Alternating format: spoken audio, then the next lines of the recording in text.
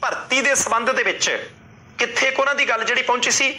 ਬਲਵੰਤ ਸਿੰਘ ਜੀ ਸਵਾਗਤ ਹੈ ਤੁਹਾਡਾ ਪ੍ਰਾਈਮ ਏਸ਼ੀਆ ਟੀਵੀ ਤੇ। ਸਤਿ ਸ਼੍ਰੀ ਅਕਾਲ ਸਰ ਜੀ ਮੇਰੇ ਵੱਲੋਂ। ਤੁਹਾਡਾ। ਬਹੁਤ ਬਹੁਤ ਜ਼ਿਆਦਾ ਧੰਨਵਾਦ। ਜੀ ਸ਼ੁਕਰੀਆ ਜੀ। ਬਲਵੰਤ ਸਿੰਘ ਜੀ ਦੱਸਿਓ ਜੀ ਕਿ ਤੁਹਾਡਾ ਮਸਲਾ ਕਿੱਥੇ ਖੜਾ ਹੈ ਜੀ? ਪਿਛਲੀ ਸਰਕਾਰ ਵੇਲੇ ਭਰਤੀ ਸ਼ੁਰੂ ਹੋਈ ਸੀ ਕਿੱਥੇ ਕਾ ਜੀ ਅਸਲੀ ਕਹਾਣੀ? ਇੱਕ ਤਾਂ ਸਰ ਸਾਡੇ ਪੰਜਾਬ ਦੀ ਸਭ ਤੋਂ ਵੱਡੀ ਤਰਾਸਦੀ ਹੈ ਵੀ ਇੱਥੇ ਜਿਹੜੀਆਂ ਭਰਤੀਆਂ ਨੇ 4.5 ਜਾਂ 4 ਸਾਲਾਂ ਬਾਅਦ ਆਉਂਦੀਆਂ ਨੇ। ਤਾਂ 2016 ਤੋਂ ਬਾਅਦ 2020 ਦੇ ਬਾਅਦ ਵਿੱਚ ਇਹ ਭਰਤੀ ਦੇ ਬਾਰੇ ਕਿਆਸ ਲਗਾਏ ਜਾ ਰਹੇ ਸੀਗੇ ਵੀ ਇਹ ਭਰਤੀ ਆਊਗੀ ਜਿਹੜੀ ਕਲਰਕ ਦੀ ਭਰਤੀ ਹੁੰਦੀ ਹੈ ਜੀ, ਇੱਕ ਐਵਰੇਜ ਬੱਚੇ ਵਾਸਤੇ ਭਰਤੀ ਆਉਂਦੀ ਹੈ, ਕਿਉਂਕਿ ਇਹਦੇ ਵਿੱਚ ਬਾਅਦ ਵਿੱਚ ਇੱਕ ਇੰਗਲਿਸ਼ ਤੇ ਪੰਜਾਬੀ ਦਾ ਇੱਕ ਟਾਈਪਿੰਗ ਟੈਸਟ ਹੁੰਦਾ ਹੈ, ਜੋ ਕਿ ਜ਼ਿਆਦਾਤਰ ਵਿਦਿਆਰਥੀ ਨੂੰ ਕਰਨਾ ਮੁਸ਼ਕਿਲ ਹੁੰਦਾ ਹੈ ਇਸ ਕਰਕੇ ਇੱਕ ਐਵਰੇਜ ਬੱਚਾ ਜਿਸ ਦੇ ਬਾਕੀ ਪੇਪਰਾਂ ਦੇ ਵਿੱਚੋਂ ਨੰਬਰ ਘੱਟ ਹੁੰਦੇ ਨੇ, ਉਹ ਇਸ ਭਰਤੀ ਦੇ ਉੱਤੋਂ ਆਪਣੀ ਜਿਹੜੀ ਆਸ ਹੈ ਉਹ ਜਗਾਉਂਦਾ ਹੈ। ਤਾਂ 2021 ਦੇ ਵਿੱਚ ਕਈ ਸਾਰੇ ਧਰਨੇ ਲਗਾ ਕੇ ਇਹ ਭਰਤੀ ਦੇ ਉੱਤੇ ਟਵਿੱਟਰ ਕੈਂਪੇਨ ਚਲਾ ਕੇ ਅਸੀਂ ਇਸ ਦਾ ਨੋਟੀਫਿਕੇਸ਼ਨ ਨਵੰਬਰ ਦੇ ਵਿੱਚ ਕਢਵਾਇਆ ਸੀਗਾ ਜੀ। ਜੀ। ਨਵੰਬਰ ਤੋਂ ਨੋਟੀਫਿਕੇਸ਼ਨ ਆਇਆ ਜੀ ਤੇ ਸਾਨੂੰ ਇਹਨਾਂ ਨੇ ਕੀ ਕਰਿਆ? ਲਾਸਟ ਡੇਟ ਦਿੱਤੀ 29 ਨਵੰਬਰ ਭਰਨ ਦੀ ਵੀ ਤੁਸੀਂ ਇੱਥੇ ਤੱਕ ਐਗਜ਼ਾਮ ਭਰ ਸਕਦੇ ਹੋ। ਤੇ ਸਾਨੂੰ ਬੜੀ ਖੁਸ਼ੀ ਸੀਗੀ ਜਦੋਂ ਸਰਦਾਰ ਚਰਨਜੀਤ ਸਿੰਘ ਚੰਨੀ ਜੀ ਸਾਡੇ ਸੀਐਮ ਬਣੇ ਕਿਉਂਕਿ ਸਾਡੇ ਪੇਪਰ ਦੀ ਮਿਤੀ 15 ਦਿਨਾਂ ਦੇ ਅੰਦਰ ਅੰਦਰ ਆ ਗਈ ਸੀ ਜੀ। ਸਾਡਾ 11 ਤੇ 12 ਦਸੰਬਰ ਨੂੰ ਪੇਪਰ ਲੈ ਲਿਆ ਗਿਆ ਸੀ ਤੇ ਬੱਚਿਆਂ ਨੂੰ ਇੱਕ ਮੁਕੰਮਲ ਪਹਿਲਾਂ ਤਾਂ ਤਿਆਰੀ ਵੀ ਨਹੀਂ ਕਰਨ ਦਿੱਤੀ ਤਾਂ ਸਾਨੂੰ ਇੱਕ ਖੁਸ਼ੀ ਵੀ ਦੀ ਚਲੋ ਸਾਡੀ ਭਰਤੀ ਜਲਦੀ ਜਲਦੀ ਪੂਰੀ ਹੋਏਗੀ। ਜੀ। ਪਰ ਉਸ ਤੋਂ 20 ਦਿਨ ਲੰਘਣ ਤੋਂ ਬਾਅਦ ਜਦੋਂ 2 ਜਨਵਰੀ ਆਈ ਨਵਾਂ ਸਾਲ ਚੜਿਆ ਸਾਡੀ ਆਨਸਰ ਕੀ ਤੱਕ ਨਹੀਂ ਆਈ ਅਸੀਂ ਤੁਹਾਡੇ ਚੈਨਲ ਦੇ ਮਾਧਿਅਮ ਰਾਹੀਂ ਸਰਕਾਰ ਨੂੰ ਜਗਾਇਆ ਵੀ ਸੀ ਉਦੋਂ ਸਾਡਾ 1 ਘੰਟੇ ਦਾ ਲਾਈਵ ਚੱਲਿਆ ਸੀ ਤੁਹਾਡੇ ਚੈਨਲ ਦੇ ਉੱਤੇ ਵੀ ਸਾਡੀ ਆਨਸਰ ਕੀ ਹੈ? ਜਿਹੜੀ ਇੱਕ ਪੇਜ ਦੀ ਹੁੰਦੀ ਹੈ ਇਹਨਾਂ ਨੇ 20 ਦਿਨ ਲਗਾਏ। ਜਿਹੜਾ ਸਾਡਾ ਬੋਰਡ ਹੈ ਜੀ ਐਕਚੁਅਲੀ ਮੈਂ ਜਿੱਥੇ ਤੱਕ ਜਿੰਨੇ ਐਮਐਲਏ ਸਾਹਿਬਾਨ ਨੂੰ ਮਿਲਿਆ ਸਾਡੇ ਬੋਰਡ ਬਾਰੇ ਜਾਣਕਾਰੀ ਨਹੀਂ ਹੈਗੀ ਜੀ ਲੋਕਾਂ ਨੂੰ। ਸਾਡਾ ਜਿਹੜਾ ਬੋਰਡ ਹੈ ਉਹਨੂੰ ਕਹਿੰਦੇ ਨੇ ਅਧੀਨ ਸੇਵਾਵਾਂ ਸਿੱਖਿਆ ਬੋਰਡ। ਠੀਕ ਹੈ ਜੀ? ਜਾਂ ਚੋਣ ਬੋਰਡ ਕਹਿ ਦਿੰਦੇ ਨੇ ਜਿਹਨੂੰ PSSB Punjab subordinate staff selection board ਜਾਂ ਸਰਵਿਸ ਸਿਲੈਕਸ਼ਨ ਬੋਰਡ ਇਹ ਸੈਕਟਰ 68 ਮਹਾਲੀ ਦੇ ਵਿੱਚ ਹੈ। ਇਹਦੇ ਵਿੱਚ ਸਭ ਤੋਂ ਵੱਡੀ ਕਮੀ ਇਹ ਹੈ ਜੀ ਜਿਹੜਾ ਇਹਦਾ ਚੇਅਰਮੈਨ ਹੁੰਦਾ ਉਹਨੂੰ ਗਵਰਨਮੈਂਟ ਅਪਾਇੰਟ ਕਰਦੀ ਹੈ। ਜੀ। ਤੇ ਜਦੋਂ ਵੀ ਕੋਈ ਗਵਰਨਮੈਂਟ ਦੇ ਵਿੱਚ ਕੋਈ ਚੱਕਰ ਪੈਂਦਾ ਹੈ ਜੇ ਮੰਨ ਲਓ ਕੋਡ ਆਫ ਕੰਡਕਟ ਲੱਗ ਗਿਆ ਤਾਂ ਇਹਦੇ ਜਿੰਨੇ ਵੀ ਸਾਰੇ ਕੰਮ ਨੇ ਉਹ ਰੁਕ ਜਾਂਦੇ ਨੇ। ਇਹ ਪੀਪੀਐਸਸੀ ਦੇ ਵਿਭਾਗ ਦੀ ਤਰ੍ਹਾਂ ਨਹੀਂ ਹੈਗਾ ਜੀ। ਪੀਪੀਐਸਸੀ ਆਪਣੀ ਇੱਕ ਇੰਡੀਪੈਂਡੈਂਟ ਬਾਡੀ ਹੈ। ਹੁਣ ਤੁਸੀਂ ਦੇਖੋਗੇ 20 ਤਰੀਕ ਨੂੰ ਆਪਣੀਆਂ ਵੋਟਾਂ ਸੀ 26 ਨੂੰ ਉਹਨਾਂ ਨੇ ਐਨਾਲਿਸਟ ਦਾ ਪੇਪਰ ਵੀ ਲਿਆ ਸੀ ਇੱਕ ਪੰਜਾਬ ਦੇ ਵਿੱਚ। ਜੀ। ਜੋ ਕਿ ਬੜੀ ਵਧੀਆ ਗੱਲ ਹੈ ਕਿਉਂਕਿ ਇੱਕ ਭਰਤੀ ਮੁਕੰਮਲ ਚੱਲ ਰਹੀ ਹੈ ਤੇ ਨਾਲ ਪੈਰਲਲ ਦੂਜਾ ਕੰਮ ਵੀ ਚੱਲ ਰਿਹਾ ਹੈ। ਪਰ ਸਾਡੇ ਬੋਰਡ ਦੇ ਵਿੱਚ ਜੇ ਤੁਸੀਂ ਪੀਟਰ ਪਲੱਸ ਵੀ ਦੀ ਸਰ ਸਾਈਡ ਖੋਲੋ 5 ਜਨਵਰੀ ਨੂੰ ਲਾਸਟ ਚੀਜ਼ ਪਈ ਹੋਈ ਹੈ। ਅੱਜ ਜੀ। 4-3 ਮਹੀਨੇ ਹੋ ਗਏ ਨੇ ਜੀ ਸਾਡੀ ਸਾਈਟ ਦੇ ਉੱਤੇ ਕੁਝ ਆਂਦਾ ਆਂਦਾ ਨਹੀਂ ਹੈਗਾ। ਉਸ ਤੋਂ ਬਾਅਦ ਜੀ ਇਹ 3500 ਕਲਰਕਾਂ ਦੀ ਭਰਤੀ ਹੈ ਜੀ 3500 ਨੂੰ 3500 ਨਾਲ ਗਿਣੀਏ ਆਪਾਂ ਇੱਕ ਪਰਿਵਾਰ ਦੇ ਪੰਜ ਜੀ ਗਿਣੀਏ ਤਾਂ 17500 ਘਰਾਂ ਦੀ ਰੋਟੀ ਦਾ ਮੁੱਦਾ ਜੀ ਇਹ। ਜੀ। ਤੇ ਇਹਦੇ ਵਿੱਚ ਕੀ ਹੁੰਦਾ ਸਾਡਾ ਪਹਿਲਾਂ ਤਾਂ 3 ਮਹੀਨੇ ਹੋ ਗਏ ਹਜੇ ਤੱਕ ਰਿਜ਼ਲਟ ਨਹੀਂ ਆਇਆ ਜੀ। ਠੀਕ ਹੈ ਜੀ। ਰਿਜ਼ਲਟ ਤੋਂ ਬਾਅਦ ਸਾਡੀ ਟਾਈਪਿੰਗ ਹੋਣੀ ਹੈ ਜੀ।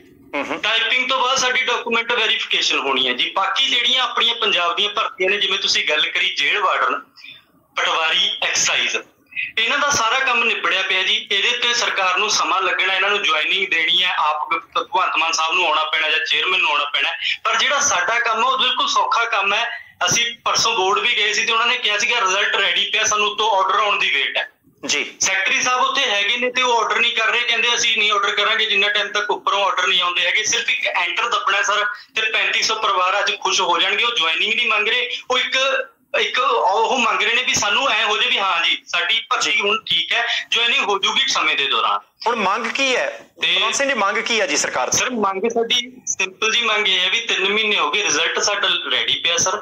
ਸਿਰਫ ਵੀ ਇੱਕ ਭਗਵੰਤ ਮਾਨ ਸਾਹਿਬ ਨੂੰ ਇੱਕ ਬੇਨਤੀ ਹੈ ਵੀ ਸੈਕਟਰ 68 ਮਹਾਲੀ ਦੇ ਜਿਹੜੇ ਸੈਕਟਰੀ ਸਾਹਿਬ ਨੇ ਪੀਟਰ ਪਲਸ ਬੋਰਡ ਦੇ ਇਹਨਾਂ ਨੂੰ ਹਦਾਇਤਾਂ ਦਿੱਤੀਆਂ ਜਾਣ ਵੀ ਇਹਨਾਂ ਦਾ ਰਿਜ਼ਲਟ ਹੈ ਜਿਹੜਾ ਪਬਲਿਸ਼ ਕਰੋ। ਜਲਦੀ ਤੋਂ ਜਲਦੀ ਕਿਸੇ ਕੰਪਨੀ ਨੂੰ ਕੰਟਰੈਕਟ ਦੇ ਕੇ ਇਹਨਾਂ ਦੀ ਟਾਈਪਿੰਗ ਲਵੋ ਕਿਉਂਕਿ ਕੱਲ ਜੇ ਤੁਸੀਂ ਸੁਣਿਆ ਹੋਵੇਗਾ ਕੱਲ ਐਮਐਲਏ ਸਾਹਿਬਾਨ ਵੀ ਕਹਿ ਰਹੇ ਸੀਗੇ ਵੀ ਸਾਡੇ ਲਵੇ ਸਟਾਫ ਦੀ ਹਜੇ ਕਮੀ ਹੈ।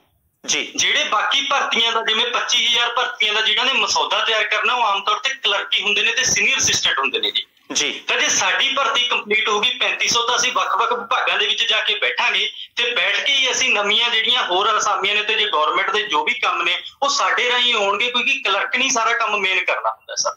ਬਿਲਕੁਲ ਠੀਕ ਹੈ ਜੀ। ਅਸੀਂ ਬਲਵੰਤ ਸਿੰਘ ਜੀ ਉਮੀਦ ਕਰਦੇ ਹਾਂ ਕਿ ਤੁਹਾਡੀ ਗੱਲ ਜਿਹੜੀ ਆ ਸਰਕਾਰ ਦੇ ਕੰਨਾਂ ਤੱਕ ਕੱਪੜੂਗੀ। ਹਫ਼ਤੇ ਬਾਅਦ ਆਪਾਂ ਤੁਹਾਡੇ ਨਾਲ ਇਦਾਂ ਹੀ ਇੱਕ ਵਾਰੀ ਫੇਰ ਗੱਲ ਜਿਹੜੀ ਕਰਾਂਗੇ ਕਿ ਉਧਰਲੇ ਪਾਸੇ ਗੱਲ ਜਿਹੜੀ ਅੱਗੇ ਨੂੰ ਤੁਰੀ ਹੈ ਕਿ ਨਹੀਂ ਤੁਰੀ। ਗੱਲ ਤੁਹਾਡੀ ਠੀਕ ਹੈ ਜੇ ਪੇਪਰ ਲੈਣ ਵਾਲਾ ਪੇਪਰ ਲੈ ਕੇ ਤੁਸੀਂ ਕਲਰਕ ਭਰਤੀ ਹੋਣਾ ਹੈ ਕਲਰਕ ਭਰਤੀ ਹੋ ਕੇ ਡਿਪਾਰਟਮੈਂਟਾਂ ਜਾਓਗੇ ਬਾਕੀ ਕੰਮ ਜਿਹੜੇ ਕਰਨ ਵਾਲੇ ਦਰੁਸਤ ਹੋਣਗੇ ਲੋਕ ਸਰਕਾਰ ਤੋਂ ਵੀ ਖੁਸ਼ ਹੋਣਗੇ ਤੁਹਾਡੇ ਘਰਾਂ ਦੇ ਵਿੱਚ ਵੀ ਖੁਸ਼ੀਆਂ ਆਉਣਗੀਆਂ। ਸੋ ਅਸੀਂ ਉਮੀਦ ਕਰਦੇ ਹਾਂ ਕਿ ਤੁਹਾਡੀ ਗੱਲ ਜਿਹੜੀ ਸੁਣੀ ਜਾਊਗੀ ਤੁਸੀਂ ਅੱਜ ਜੁੜੇ ਤੁਹਾਡਾ ਬਹੁਤ ਧੰਨਵਾਦ ਜੀ।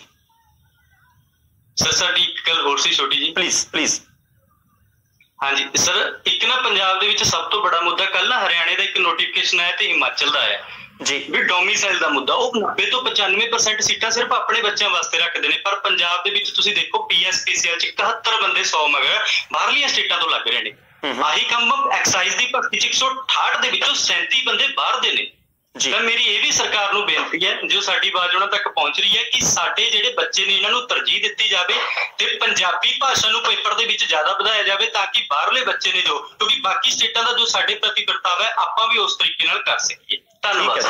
ਬਹੁਤ ਮਿਹਰਬਾਨੀ। ਸ਼ੁਕਰੀਆ ਜੀ। ਸੋ ਬਲਵੰਤ ਸਿੰਘ ਜੀ ਜੁੜੇ ਸੀ ਕਲਰਕਾਂ ਦੀ ਭਰਤੀ ਪ੍ਰਕਿਰਿਆ ਹੀ ਪੇਪਰ ਲਿਆ ਰਿਜ਼ਲਟ ਨਹੀਂ ਆਇਆ ਟਾਈਪਿੰਗ ਟੈਸਟ ਅਜੇ ਹੋਣਾ ਹੈ ਕਿਉਂਕਿ ਤੁਸੀਂ ਦੇਖੋ ਕਿ ਬੜਾ ਜਦੋਂ ਨੌਜਵਾਨ ਉਮਰ ਹੁੰਦੀ ਬੜਾ ਅਕਾਊ ਕੰਮ ਹੁੰਦਾ ਟਾਈਪਿੰਗ ਕਰਨੀ। ਪਰ ਜੇ ਇਹਨਾਂ ਨੂੰ ਲੱਗਦਾ ਹੈ, ਕਿਉਂਕਿ ਸਿਫਾਰਿਸ਼ ਨਹੀਂ ਭਾਲਦੇ, ਰਿਸ਼ਵਤ ਨਹੀਂ ਦੇਣਾ ਚਾਹੁੰਦੇ, ਕੰਮ ਕਰਨਾ ਚਾਹੁੰਦੇ ਆ, ਪਿਛਲੀ ਸਰਕਾਰ ਦੀ ਭਰਤੀ ਇਹ ਅੱਧ ਵਿਚਾਲੇ ਲਟਕੀ ਹੈ। ਨਵੀਂ ਸਰਕਾਰ ਦੇ ਲਈ ਇਹ ਚੁਣੌਤੀ ਵੀ ਹੋਏਗੀ, ਪਰ ਇਹਨਾਂ ਘਰਾਂ ਦੀਆਂ ਖੁਸ਼ੀਆਂ ਖੇੜੇ ਜਿਹੜੇ ਆ ਉਹ ਨਵੀਂ ਸਰਕਾਰ ਦੇ ਫੈਸਲੇ ਤੇ ਨਿਰਭਰ ਕਰਦੇ ਆ। ਅਸੀਂ ਸਿਰਫ ਆਵਾਜ਼ ਜਿਹੜੀ ਆ ਸਰਕਾਰ ਦੇ ਕੰਨਾਂ ਤੱਕ ਪਹੁੰਚਾਉਣ ਦੀ ਕੋਸ਼ਿਸ਼ ਕਰਨੀ ਸੀ। ਤੁਹਾਡੇ ਬਹੁਤ ਸਾਰੇ ਜਿਹੜੇ ਉਹ ਮੈਸੇਜ ਟਿੱਪਣੀਆਂ ਜਿਹੜੀਆਂ ਆ ਰਹੀਆਂ ਨੇ, ਉਮੀਦ ਕਰਦੇ ਆ ਕਿ ਹਫ਼ਤੇ 10 ਦਿਨਾਂ ਦੇ ਵਿੱਚ ਕੁਛ ਨਾ ਕੁਛ ਇਧਰਲੇ ਪਾਸੇ ਸਰਕਾਰ ਜਿਹੜੀ ਹੈ, ਉਹ ਫੈਸਲਾ